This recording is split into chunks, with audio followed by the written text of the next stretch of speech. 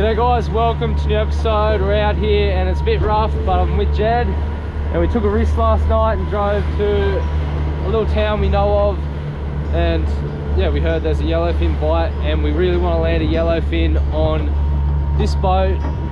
I know we've done it before, but it'd be good that I'm finally got all the gear. Like most of this stuff's mine. That, that, that, not the Stella, but most stuff. We just thought we'd just bring my stuff and lures and everything like that but yeah it'd be awesome to get a yellowfin off the top especially me but we'll take one if Jed gets it as well. But it's a dream if I can get one off the top and then in my own boat like that would just be awesome. So we took the risk and hopefully it'll, it'll pay off because it was a long drive but yeah wish us luck. You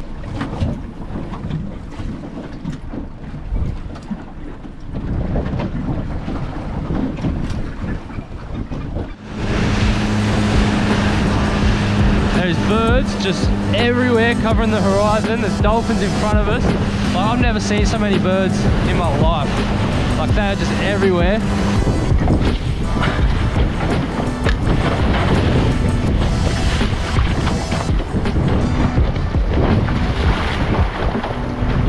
First fish have been sighted.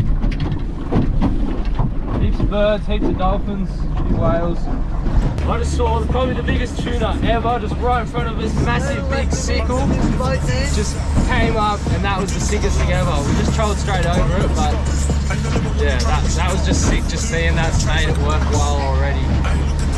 Woo. It's got me hyped as well. Double, double! Yeah! Wait, just like this, mate.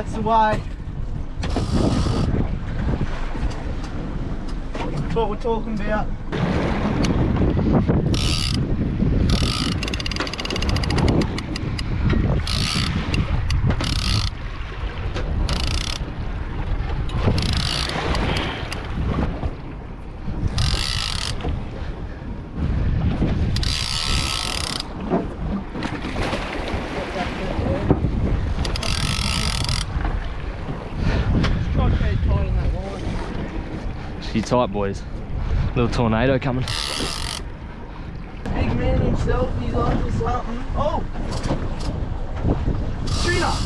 Hey, bro! Oh, what the hell? I just saw one. Guys, go, go. You actually get one. Quick, quick. quick. Yeah. Go, go, go. Straight, straight out, straight out. Oh.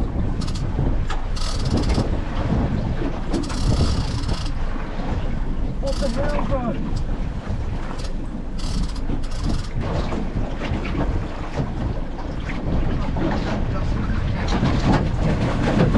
Hold on, hold on. Let go, let go, let go.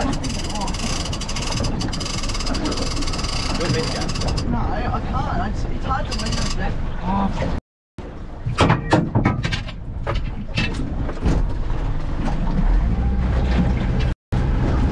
Why was that hooked in the f***ing eye? That's exactly why you don't celebrate too early. We lost it right at the boat. It was a nice fish, but it was hooked in the eye, so I know it's going to come off easier than in the mouth, obviously, but what can you do? That's fishing. Ah. Keep straight. Hold on. Keep straight. Keep straight.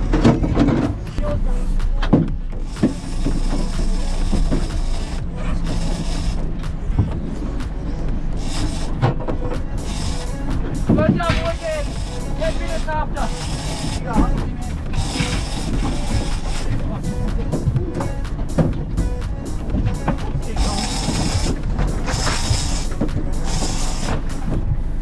bro, we just got a double and there's 70 keggers barreling everywhere.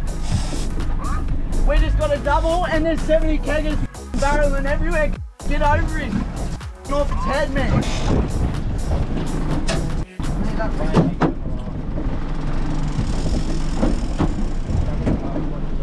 See that right? Just feel was a lot bigger than the last one.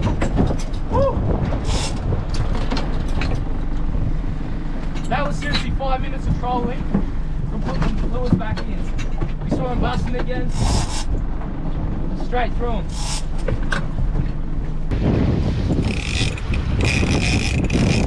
Might be getting close here.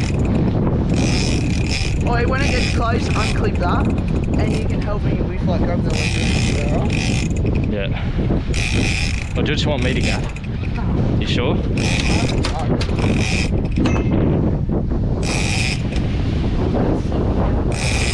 Yeah, colour.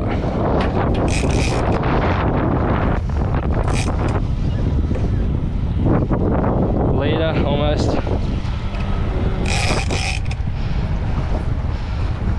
He's a jumbo! Is he? He's a jumbo! Leader. He's a jumbo. Ready?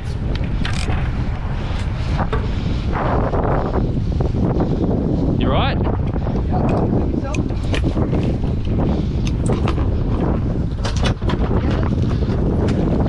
In the head. Where's other one? Where's other one? Come on, them on! 好了好了好了。了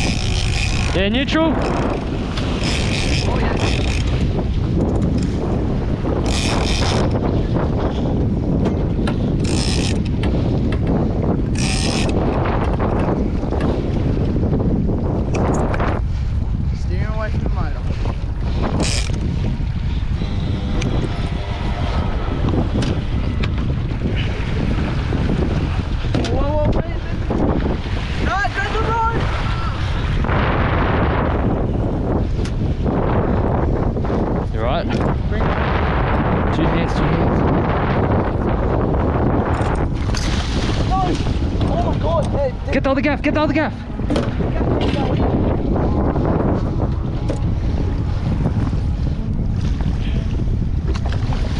Uh, hold on, hold on, hold on. Yes. Yes. No, it's not in the bait yet.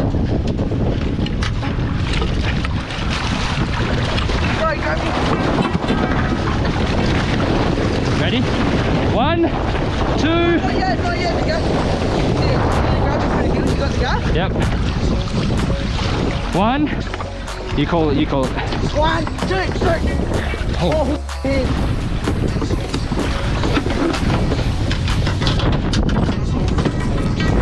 Oh, The gas came out. What the hell? Yeah. Let's get the Woo! out and get it up. Yeah! Woo! Woo! Finally, you beauties, finally. Woo! I got one on you beauty. Oh, I'm exhausted, but We'll go get another one. it's a good 50 kilo fish. I know we said we wanted on the stick bait, so we'll go troll, but like when you see them busting up, they, they're on the troll straight away, so you like you hook up anyway. But we are froth, and that was disaster waiting to happen. It's hard with two people, honestly. You've got a leader, you've got holding the fish, the rod. Yeah, boys. The good old King Brown Laser Pro. We better get out and get another one. We're again. No batteries charged or anything. Jed's on this time. Already, already in the boat, almost. I was trying to do everything and Jed's got the fish on. We got like none of the fight, but five minutes in the water again.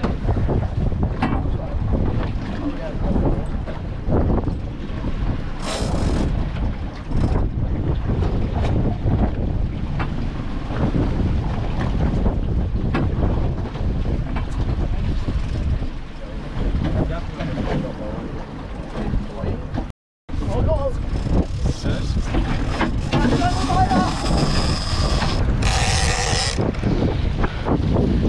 That'll do.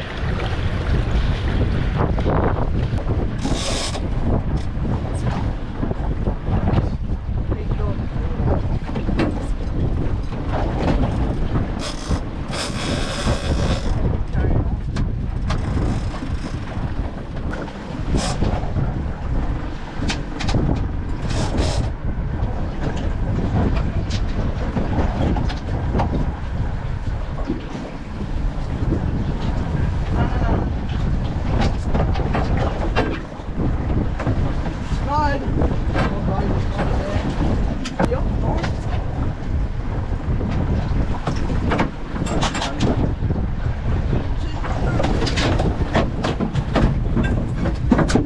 Yeah, boy! Woo! Turn! yeah, brother. Don't leave me hanging. Woo! Yours is a bit bigger, but that's. Woohoo! Oh, you beauty! Mwah, mwah, mwah. Woo! She's done it! She has done it! Took the risk. Doubles! yeah, boy! You! Double yellowfin with Jenny boy! Wow, frother! We've lost two yellowfin. One snapped off and then one was hooked in the eye, unfortunately. And, but these fish are pretty much big, nice, f***ing chunky. Mine's bigger if you can't tell, but Oh, so I need big muscles for these fish. We are frothing. Oh, it's been a good day. So we managed to fit the fish in the Logix bag almost. They sent me a bigger one. So cheers boys for that. If you, if you need a fish bag, they're pretty pretty damn good quality. Like I was very surprised. That's the 1.25 meter bag. You can see it fits like a 40 and a 50 kilo fish in there. Just kind of, we can't tip it all the way out, but that's a pretty good damn, a damn good job. Anyway, I thought because I managed to christen Yew Beauty with my first one and Jed got one. This shirt, finally. Me on Yew Beauty, basically what we're doing now, in the chop, getting launched with fish on deck, with the OA logo on the front. Pre-order you can available now on my website www.offshoreadventures.com.au. If you want to secure one for yourself or just support, that will be greatly appreciated. Anyway, we're gonna keep fishing, see if we can get another one. Ew! holy 70 kegger!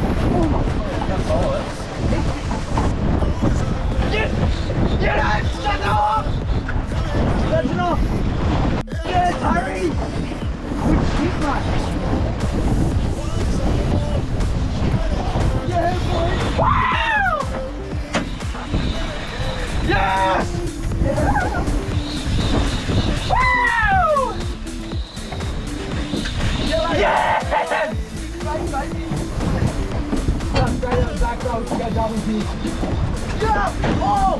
It!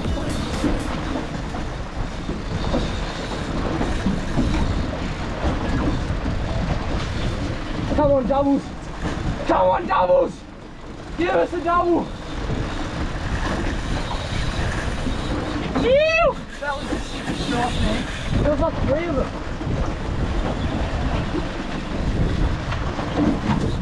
Yeah, boy. This is what trees are made of! In a storm! Woo! In a storm, but big yellow thing. So Harry's just hooked up to a nice fish off the top.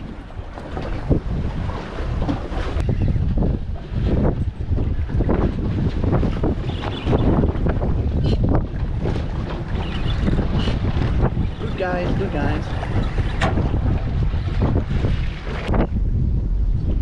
At least we're drifting that way and the fish isn't. I'll trim that motor up a touch. What do I need to do, Harry? Right, right hand down forward.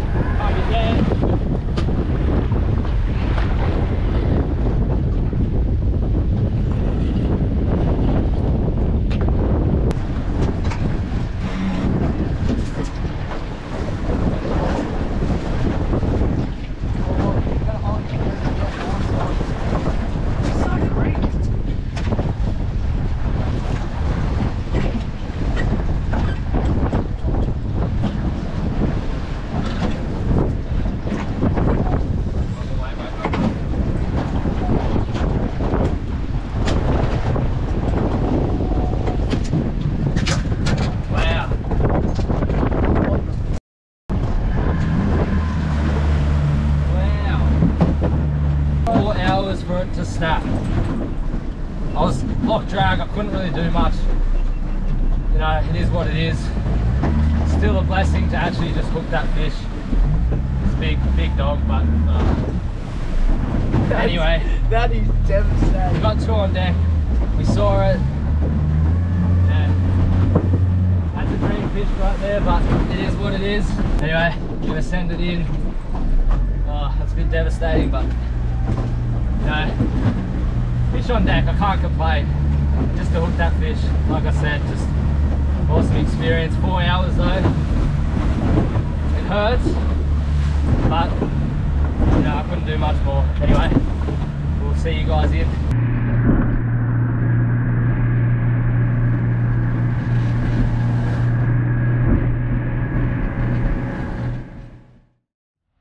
Just got the tuna down the boat ramp. I did stop pretty abruptly yesterday because we were just so tired. We just wanted to drive home and didn't really worry about doing any more video, but we just kept the fish in the fish bag. We had one each and Jed's probably gonna do his today and I'm doing mine. So yeah, this is gonna be the first tuna I've ever done all by myself with no help. Like Ryan's helped me the last two. But this one's all by myself and I'm just gonna fill it at all. Put heaps in the fish bag and then give heaps away and freeze heaps. And yeah, fish for days after this. So yeah, I'll get this done. I've been talking to a few people and like you guys probably saw it was like a heartbreak moment because when I started yesterday I said the best thing today would be get one off the top my first one off the top on my own boat and to me regardless that I lost the fish like I lost the fish of the boat I can't deny that my line snapped to hit the boat right when we're about to gaff it. But to me you know I didn't need another 60 kilo fish 50 kilo fish whatever it was. And after three hours I was just knackered. I didn't really care if it was going to break. I just wanted to go home because it was getting dark and it broke at exactly 5 p.m. that night. Three hours three hours plus fight. And you know I can't get a photo with it saying I landed my first one off the top because to me even though we lost it at the boat I basically landed. It was three hours didn't pass the rod to Jed once. Did it all myself basically. Jed obviously helped heaps with reversing and driving and stuff like that to help get the fish up but I'm one for saying just take what you need and this is way more than what I need but if I had another fish on deck you know I wouldn't really be listening to myself with take what you need. It'd be way too much fish for me and my friends and family. So you know I'm not bummed like I'm not upset that I didn't get that fish on deck because you know it kind of go against what I say but it would have been good to get a photo with it like I said but you know it's fishing I'm not I'm not upset. It was an awesome day out there regardless. We caught a dream fish each and lost heaps more and just being out there part of it all was just awesome. And just seeing the fish bust up, like that was good enough just to just to admire it. Look at that meat. I'm actually doing a half decent job. You know these bits you can just pick off at the end and the meat's pretty good quality. I'm feeling it different to what the way Ryan told me was so I just started doing it this way because I've never done a full one by myself and this is working actually quite nicely just doing section section section section but yeah doing a decent job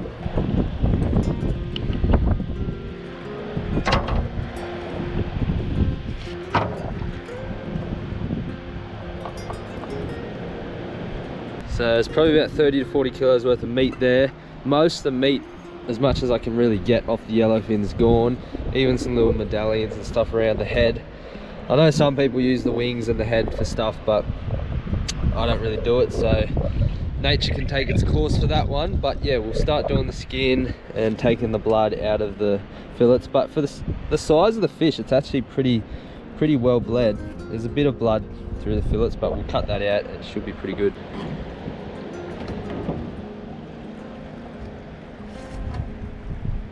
all clean. You manage probably 20 to 30 kilos worth of meat. It's all in bags in the box but yeah plenty of fish to feed everyone so i'm happy. Welcome back everyone. We're in the offshore adventures house and i'm going to show you guys how to turn this yellowfin into this canned tuna. So i am in the house today. I would love to do this outside but it is kind of hard to do that because you need a pressure cooker and you need lots of ingredients but you know i don't really want to show the whole world my house and photos of me as a kid but you know it is what it is we'll get this done and hopefully you guys can learn how to make canned tuna because I've loved learning this, and it's probably the first ever episode that I've actually done some research and kind of tried myself before actually doing the video. So I've tried the flavors and everything a few days ago, and I've worked out what I really like, and now we're doing it properly. And yeah, canned tuna. The best thing about doing this is you get so much fish. You can give a heaps away, and you can, you know, eat heaps fresh, but no matter what, you're really gonna have a lot to freeze. And when you have a lot to freeze, you know, it kind of goes to waste. You get more fish and it goes to back, and then before you know, it's been there for a year. So even though it's vacuum sealed, it's probably the best you can do when you're freezing stuff. The next best is putting them into jars. They can last three years in a sealed jar in the pantry. And then once you open it, you put it in the fridge. But you guys know canned tuna, it can last on in the pantry for ages. So that's what we're gonna do. And it gives another use to tuna instead of just deep frying it like I always do. And also it helps not buying commercially caught because I'm against it. Doesn't mean no one else is, but for me, I'd love to provide my family with canned tuna without them having to buy it and support commercial fishing. Anyway, let's get started. So first things first is we're gonna cut up all the raw tuna. I've got two massive bags of it and you can see it is goes a bit darker and a bit less appetizing once you freeze it. So it probably wouldn't be that good as sashimi, but for canned tuna and cooked tuna, it's fine.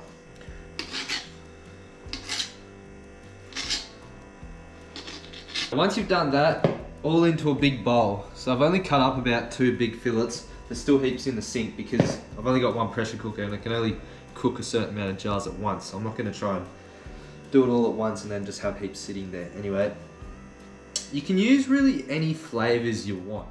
I've actually tried a few different flavors and see what works and what doesn't.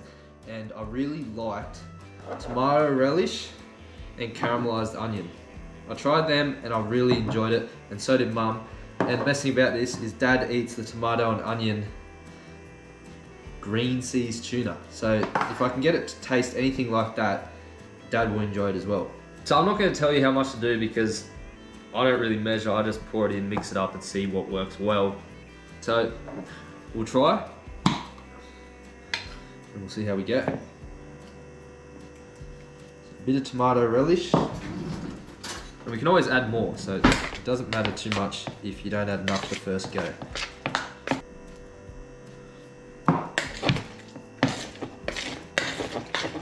Bit of caramelized onion.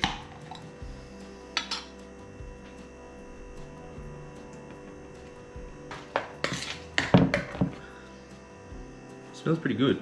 It actually looks decent. Next thing I'm gonna add is a little bit of olive oil. Should be alright. Mix that in. Fair bit of salt. Little bit of pepper depending on how much you like. And remember guys, you don't have to follow what I'm doing. You can add any flavors you want if you think it's gonna work well. These are just the flavors I've kind of felt like they work nice and yeah, simple as that. Mmm, delicious. I'm telling you, it doesn't look very appetizing, but it tastes damn good.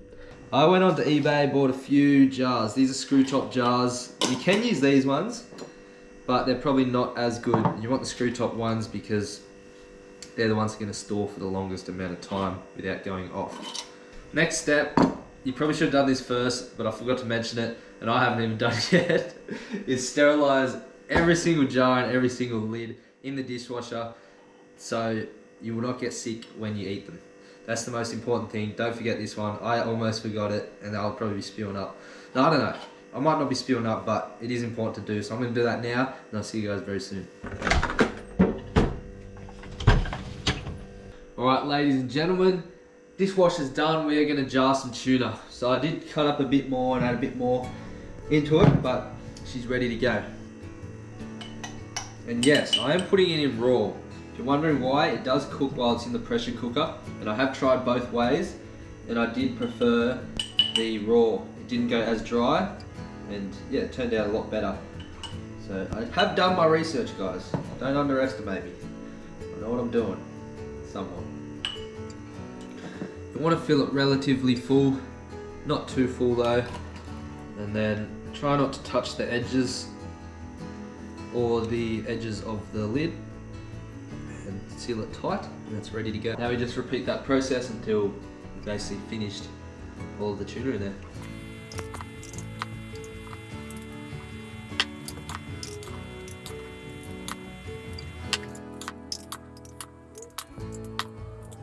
So we are ready to cook.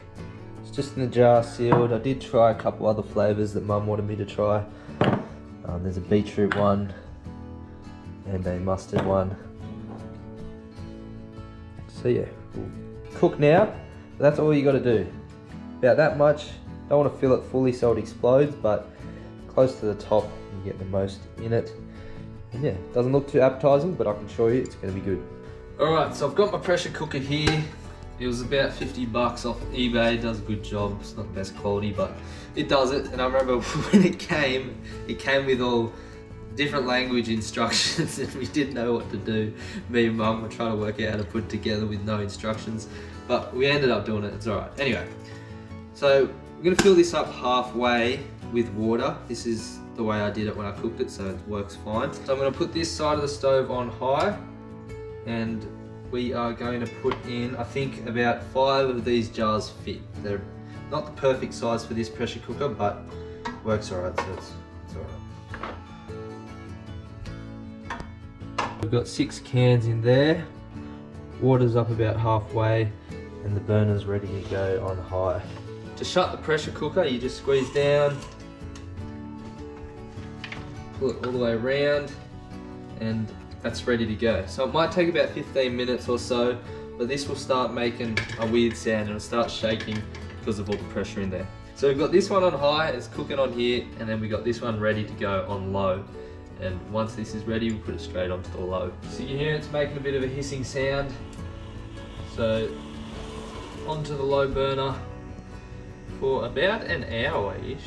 The pressure, I'm pretty sure it doesn't cook it that much, it just makes sure they're sealed and then the low burner ends up cooking it all in the jars. So yeah, we'll see you in about an hour. One hour later. End result, you can see the tuna's actually cooked in there. A bit of liquid in there, must just be from the oil and the, the liquid that was in the caramelized onion and the tomato. But yeah, that's ready to go. So I need to let them all cool down. We'll start with these ones to get them all done. But yeah, I'll show you guys tomorrow when I eat some and should be good, but I'll see you then. All right guys, it is not tomorrow. One of these I actually heard open, so I must have not screwed it on right. So I was like, oh, might as well try it. This, I'm not joking, seriously tastes like canned tuna, but it's better than this, than this.